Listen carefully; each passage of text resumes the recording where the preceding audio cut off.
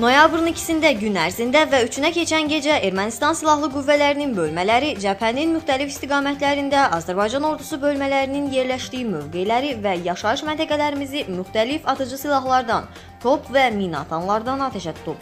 Döyüş əməliyyatları əsasən cəbhənin Ağdərə, Xocavənd, Zəngilan və Qubadlı istiqamətlərində davam edib.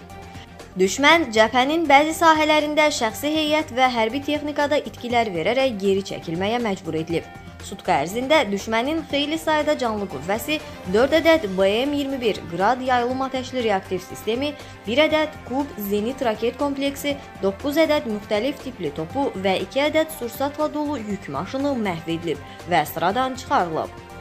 Noyabrın 3-ü saat 09:50-də cəbhədə uçuş keçirməyə cəhd göstərən Ermənistan silahlı qüvvələrinə məxsus taktiki pilotsuz uçuş aparatı hava hücumundan müdafiə bölmələrimiz tərəfindən məhv edilib.